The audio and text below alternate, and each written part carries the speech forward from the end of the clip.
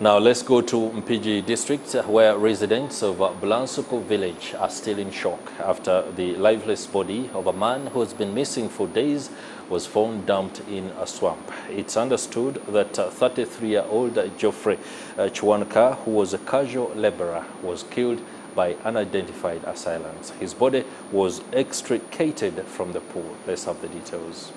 that he had gone to steal uh, from someone's home where he was beaten. According to Jimmy Kasozi, the LC3 chairperson for Chirengeti sub-county, the disease was last sighted Saturday afternoon in a bar. omuntu eyattiddwa tetunaba kuzuula ddala ddala oba ensonga eyamusiza abadde entuufu naye twagala okusaba abantu nti bw'oba osanze omuntu ewuwo tosooka kutta nga tonafuna mawulire maki matuufu oba mubbi oba mumenyi w'amateeka tosooka kutta muntu sooka mumukwate mumusibe His body was recovered floating on a swamp waters by a man who was passing by who notified the police. The deceased body had deep wounds on the forehead and other body parts. It is alleged that the deceased on Saturday night went to one of the residents' home with an intention of stealing goats, but he ran out of luck when he was arrested and attempted to fight. Police have arrested one, Saul Lubega, to help with investigations.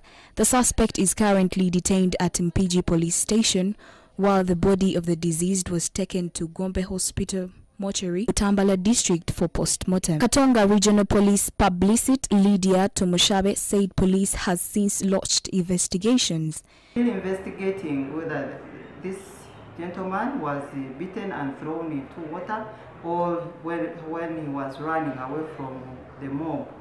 Uh, that's when he fell in water. So we are investigating that circumstance. Uh, as I talk, the body was picked by homicide team and taken to Gombe Hospital mortuary.